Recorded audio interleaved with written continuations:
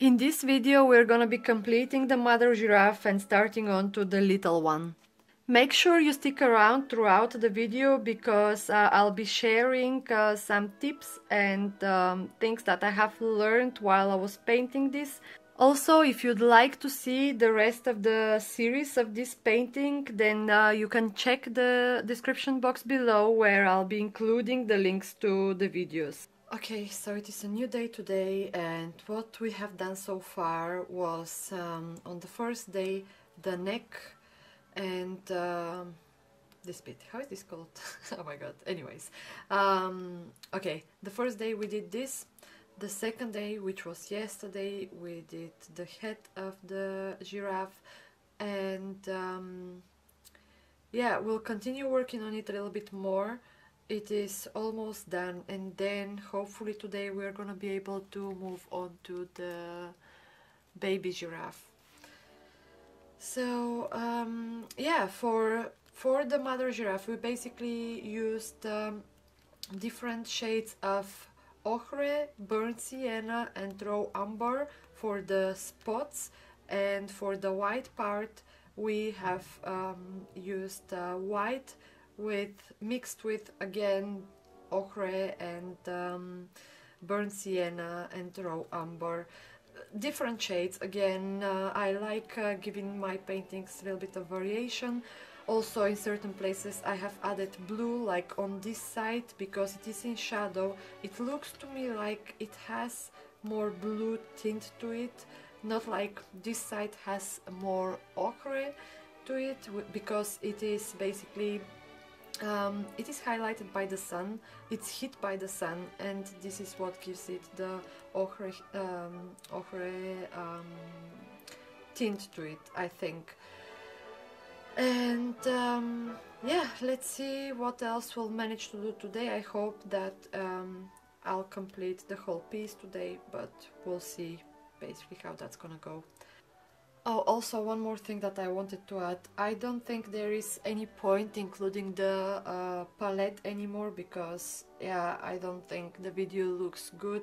But um, you basically can get the idea. And the truth is, you're not gonna really understand it, even even if you're just even if you're seeing it, you're not gonna understand it unless you start painting yourself, and that's when you're gonna be able to really adjust your values and get into it that's the reality of it. No matter how much I'm gonna be showing you my palette um, yeah it's it's not really that important. You can even go with completely different kind of palette. You can go um, like you can do the spots like the spots like rainbow just um, obviously adjust your shading to it.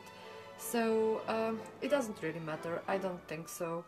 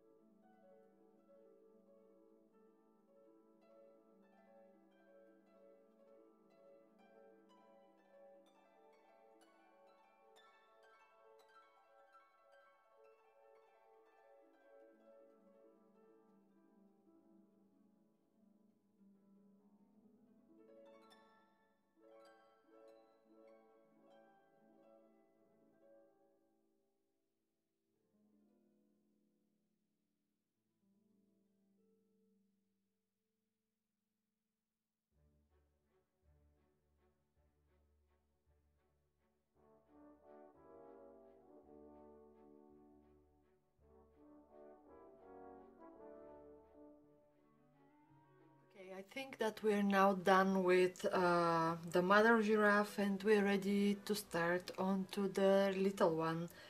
And um, let's see, I think he looks a little bit more um, reddish, more like... Um, I'll probably need to add more from the um, burnt sienna color instead of ochre to him, but we'll see how that's gonna go. Okay, so we're gonna start with uh, the whitish bit first.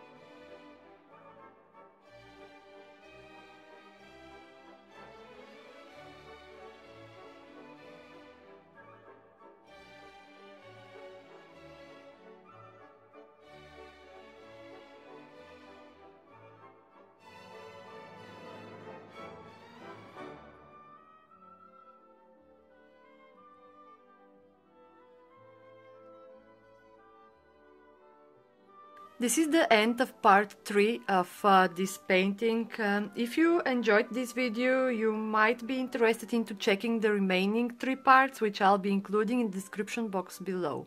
Thank you very much for watching and have a lovely day.